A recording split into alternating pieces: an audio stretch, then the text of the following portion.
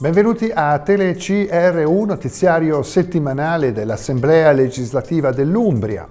L'Aula di Palazzo Cesaroni ha approvato all'unanimità la mozione sottoscritta dai consiglieri Tommaso Bori, Simona Meloni, Michele Bettarelli e Fabio Paparelli del Partito Democratico, Thomas De Luca, Movimento 5 Stelle e Vincenzo Bianconi del Gruppo Misto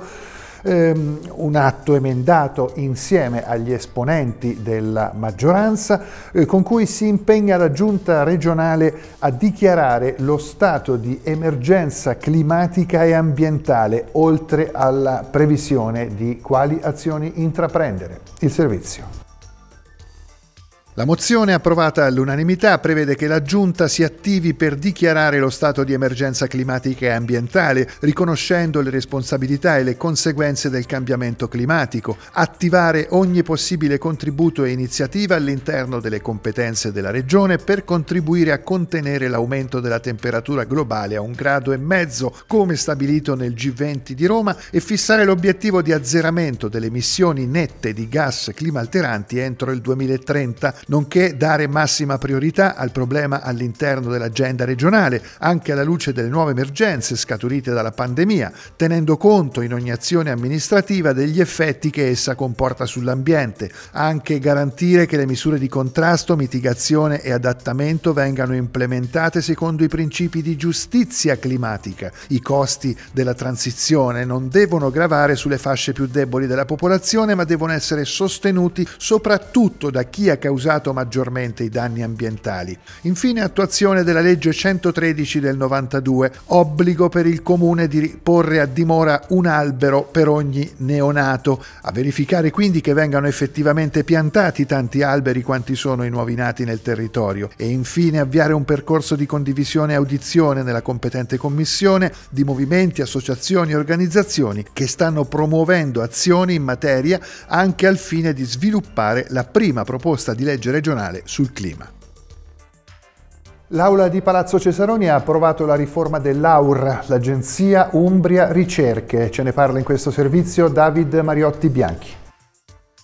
L'Assemblea legislativa dell'Umbria ha approvato con 13 voti a favore della maggioranza, 2 contrari, misto Movimento 5 Stelle, e 5 non partecipanti al voto PD Patto Civico, il disegno di legge della Giunta per la modifica della legge che istituisce l'Agenzia Umbria Ricerche. Il provvedimento punta alla valorizzazione dell'AUR attraverso alcune azioni strategiche. Viene attribuita all'Agenzia la possibilità di svolgere attività di ricerca dietro compenso anche a favore di committenza privata e di promuovere convenzioni ed accordi di collaborazione con soggetti pubblici e privati, come associazioni di categoria o enti locali, che potranno utilizzare l'Agenzia per ricerche utili ad indirizzare le politiche a livello territoriale e che potranno portare a borse di studio e assegni di ricerca. Il disegno di legge modifica la governance dell'agenzia, sostituendo l'organo del presidente con quello dell'amministratore unico e istituisce il comitato scientifico composto dall'amministratore unico e da cinque membri esperti in ricerca e programmazione, oppure in possesso di un qualificato profilo scientifico accademico.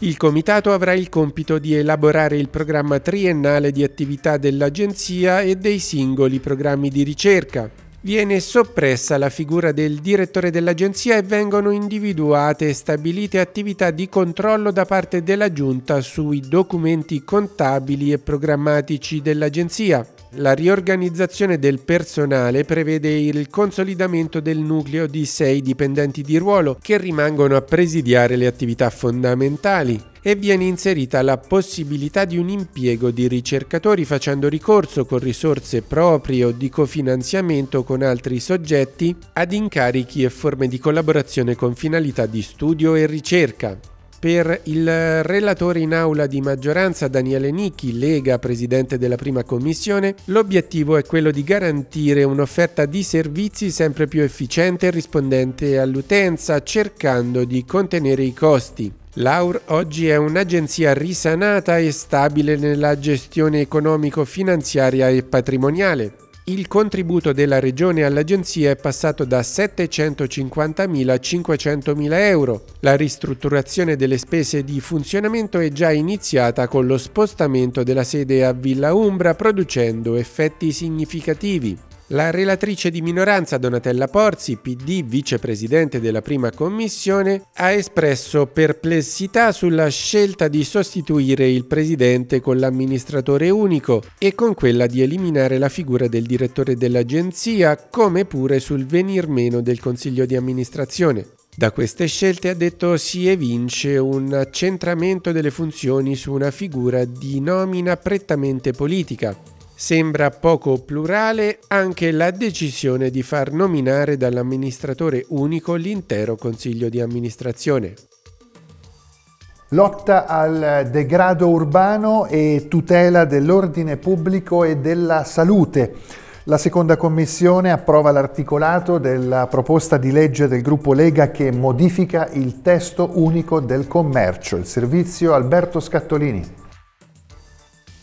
La seconda commissione, presieduta da Valerio Mancini, con il sì dei commissari di maggioranza e la non partecipazione al voto da parte di quelli di minoranza, ha approvato l'articolato della proposta di legge promossa dal gruppo Lega, prima firmataria Paola Fioroni, che prevede modificazioni e integrazioni alla legge regionale 10-2014, testo unico in materia di commercio. L'iniziativa legislativa, come la stessa Paola Fioroni ha spiegato, se approvata dall'Aula, consentirà ai comuni di contemperare il libero commercio con motivi imperativi di interesse generale, quali le ragioni di salute pubblica, la tutela dei consumatori e la protezione dell'ambiente urbano, per garantire l'autonomia territoriale nella definizione dell'assetto di regolamentazione nel commercio. Le modifiche mirano sostanzialmente ad inserire disposizioni più puntuali ed incisive nella normativa vigente a livello regionale, in ordine all'attuazione di quanto previsto in materia di commercio dalla direttiva Bolkestein. Sulla proposta di legge si era espresso positivamente in commissione anche l'assessore Michele Fioroni, sottolineando tra l'altro che come principio la norma è sostenibile poiché l'obiettivo è quello di intervenire in maniera chirurgica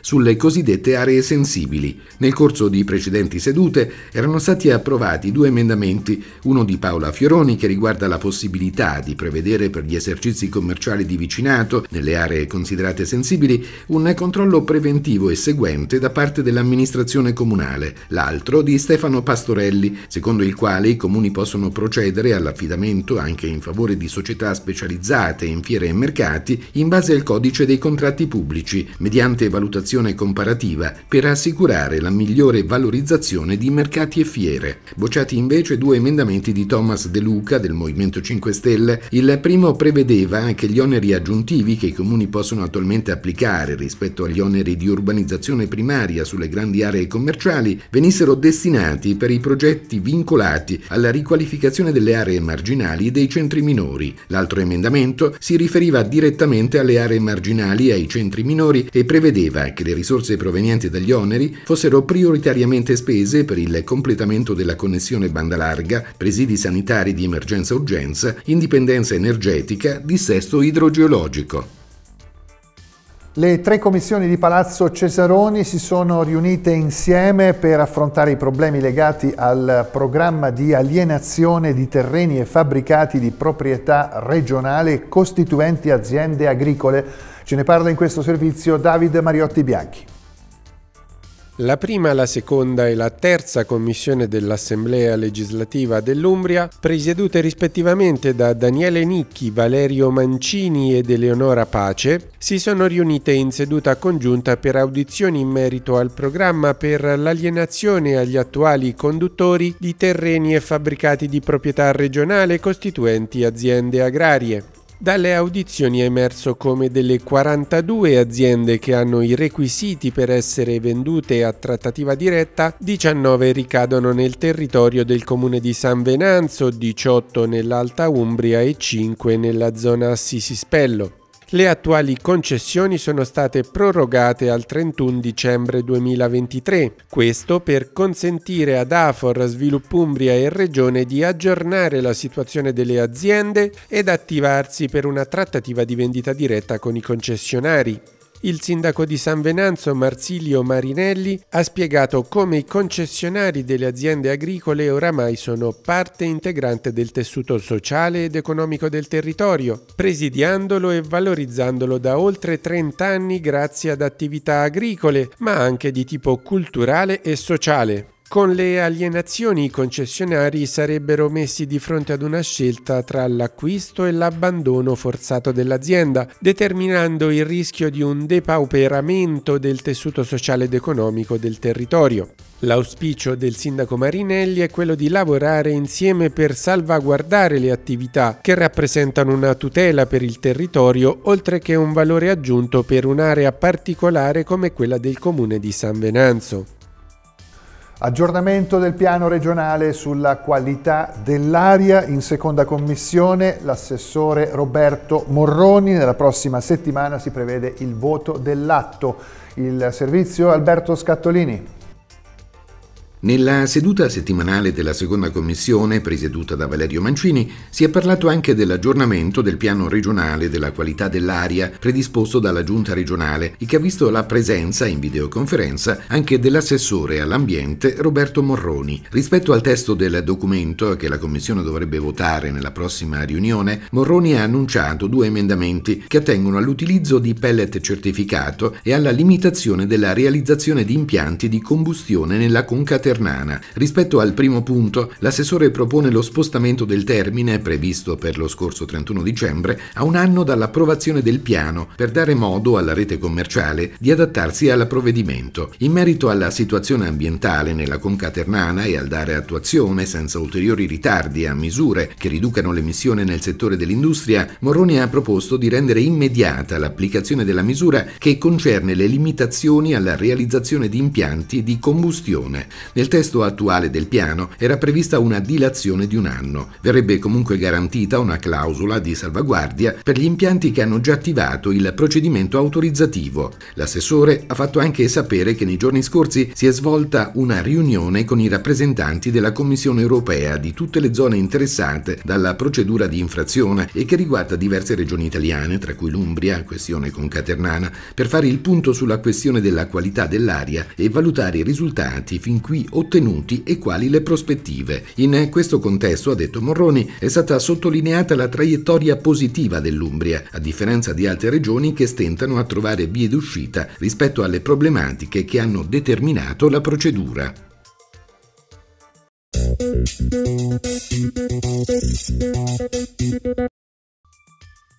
I consiglieri regionali dei gruppi di minoranza, Partito Democratico, Movimento 5 Stelle, Patto Civico e Gruppo Misto, hanno chiesto la convocazione straordinaria dell'Assemblea legislativa sul tema analisi dell'attuale conflitto russo-ucraino, condanna dell'aggressione militare da parte della Federazione russa, solidarietà alla popolazione e sostegno allo Stato ucraino.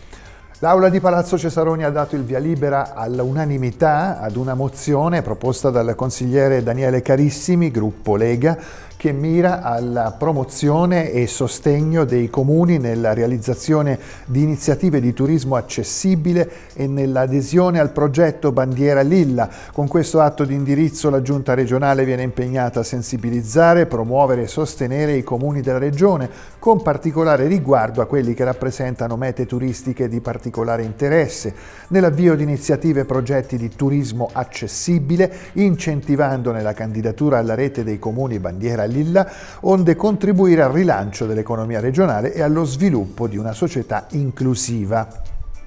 L'Aula di Palazzo Cesaroni ha approvato all'unanimità anche la mozione presentata dal consigliere regionale Vincenzo Bianconi, gruppo misto, con cui si impegna la Giunta a sollecitare azioni del governo e attivarsi direttamente con tutti gli strumenti a sua disposizione per sostenere tutte le imprese umbre, con particolare attenzione a quelle più colpite dalla crisi sanitaria, dal caro energia e materie prime, collocate nelle aree interne ed ex aree industriali, al fine di fornire le garanzie necessarie per contrarre mutui utili ad arginare la loro crisi di liquidità e per poter partecipare a bandi pubblici regionali, nazionali, PNR e altri europei, volti ad aumentare la loro competitività e verso la transizione ecologica.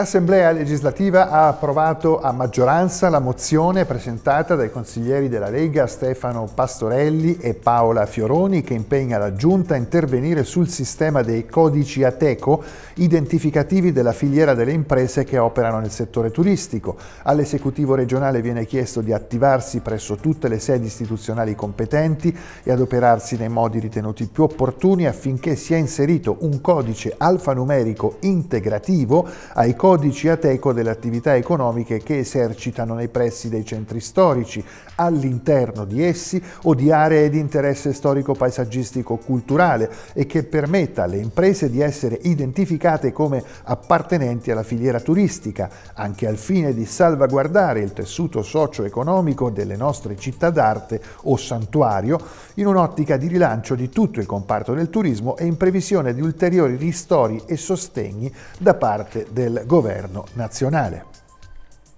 Il comitato di controllo di Palazzo Cesaroni, presieduto dal consigliere Thomas De Luca, sta verificando l'attuazione delle norme per la gestione integrata dei rifiuti e la bonifica delle aree inquinate. Quella attuale è una fase transitoria perché il piano dei rifiuti e il piano d'ambito non sono ancora stati approvati. Al termine della relazione da parte degli uffici, il Comitato ha deciso di fissare un'audizione per ascoltare l'assessore regionale all'ambiente Roberto Morroni e i tecnici della Regione. Anche per questa edizione è tutto. Vi ricordo TeleCRU va in onda sulle emittenti radio-televisive della Regione, è disponibile anche in rete sul sito dell'Assemblea legislativa dell'Umbria e naturalmente su YouTube. Grazie per la vostra attenzione. Arrivederci.